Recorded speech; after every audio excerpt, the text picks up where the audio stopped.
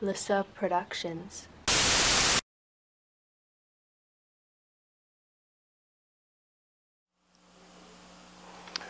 Welcome back to Experimental Physics. Today we begin a, an investigation of the temperature dependence of electrical resistance in superconductors.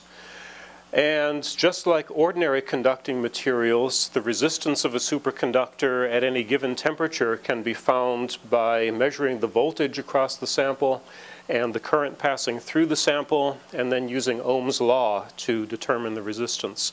But unlike ordinary conducting materials, the resistance of a superconductor actually completely goes away below a certain critical temperature.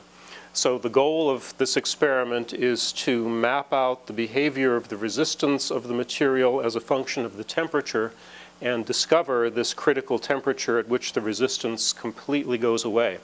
Now how will you know when the resistance is zero? Well, you'll have a non-zero current passing through the sample but the voltage on the sample will be zero. So from that you can infer that the resistance is actually zero.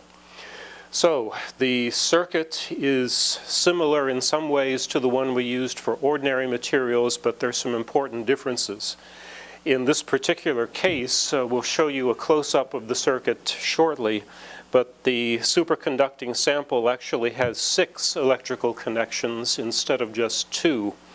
So it's important to know what the function of all of these connections actually is.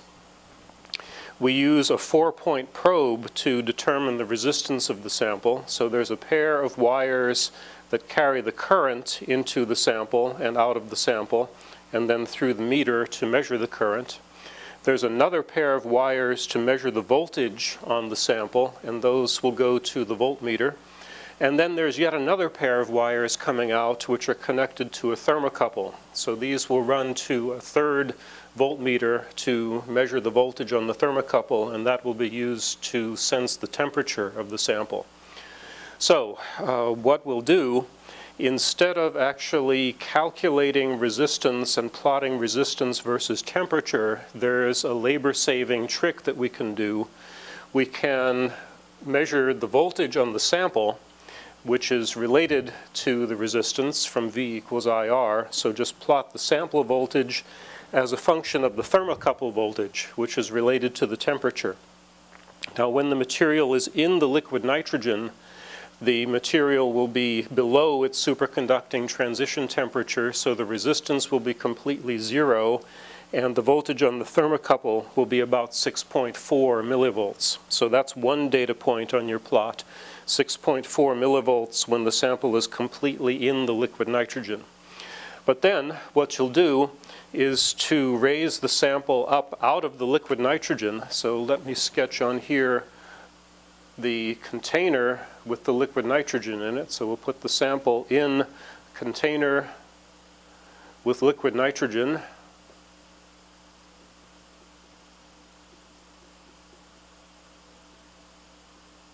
So the liquid nitrogen will be in an insulated container and we'll put a piece of foam insulation on the top just to keep the thing cold.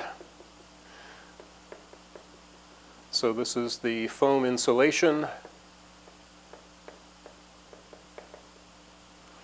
And the sample, instead of being completely in the liquid nitrogen for the whole time, you'll raise it up so that it's no longer in contact with the liquid nitrogen, but it's still underneath this insulating layer, so it's now in a cold vapor environment, and that's what will allow for the variation of the temperature.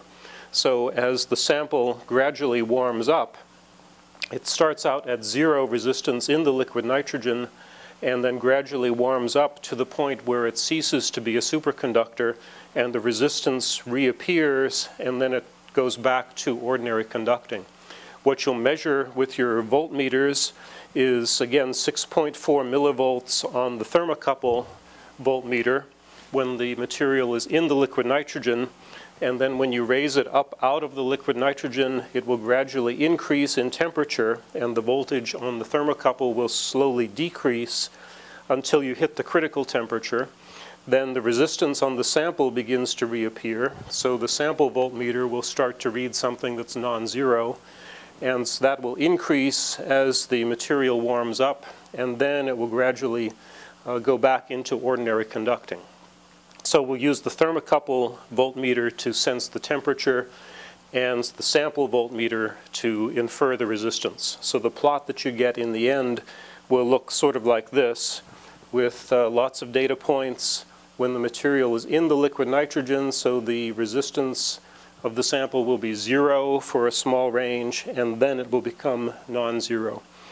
So the, uh, the goal is to get lots of good data in order to sense the transition temperature, the critical temperature for becoming a superconductor.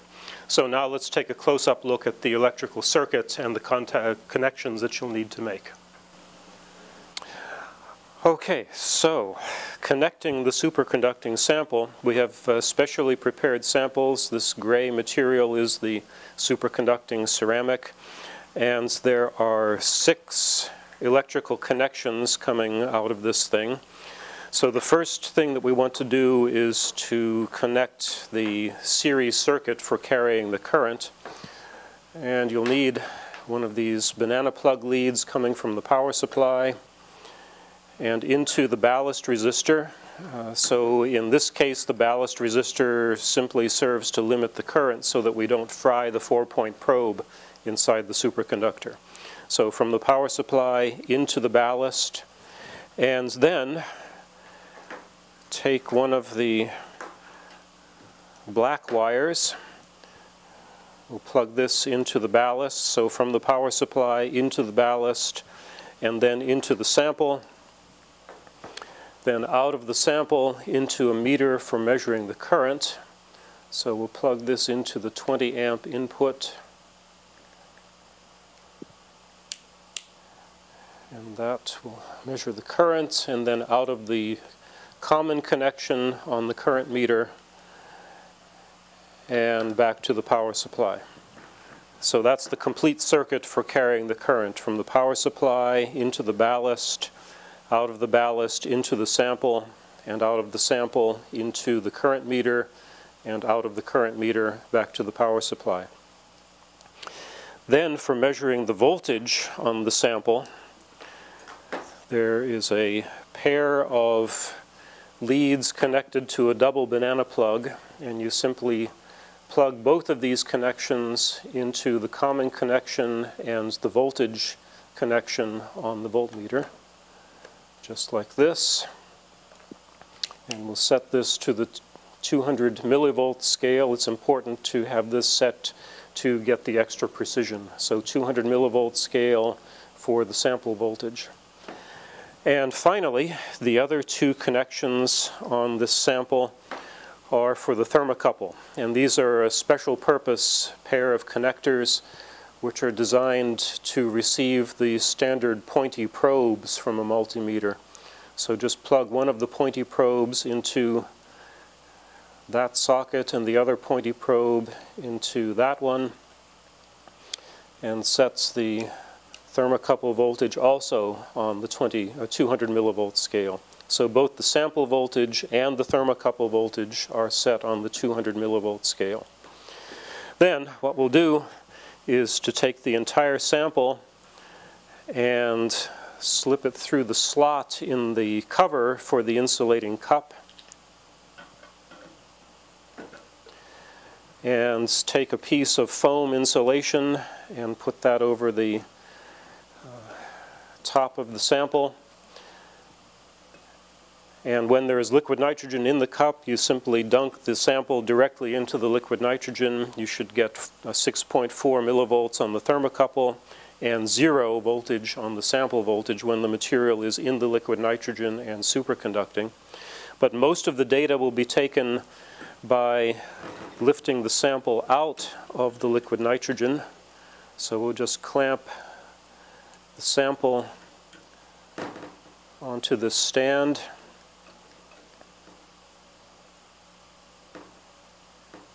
and raise it up out of the liquid nitrogen but still underneath the insulating layer of the cup. That will keep it in a cold vapor environment but above 77 Kelvin so the sample will slowly increase in temperature and what you should see is that the thermocouple voltage will uh, slowly decrease from 6.4 millivolts uh, on down and the sample voltage, when you reach the critical temperature, will begin to reappear. So you want to take lots of good data, sample voltage as a function of thermocouple voltage to find the critical temperature. So to recap the goals of the experiment, you want to gather enough good data in order to determine accurately what the critical temperature is for this material to become a superconductor. To do that, you measure the voltage on the sample as a function of the voltage on the thermocouple, beginning with the sample completely in the liquid nitrogen, and at that point the thermocouple voltage should be about 6.4 millivolts. Then you raise the sample up out of the liquid nitrogen, so it's no longer physically in contact with the liquid nitrogen, but slightly above in a cold vapor environment. That allows the material to gradually warm up, and you'll see the thermocouple voltage slowly decreasing from 6.4 millivolts down to the point where the material ceases to be a superconductor. So it will rapidly transition back to ordinary conducting and the trick will be to gather enough good data in this rapid transition region so that you can determine where the critical temperature occurs.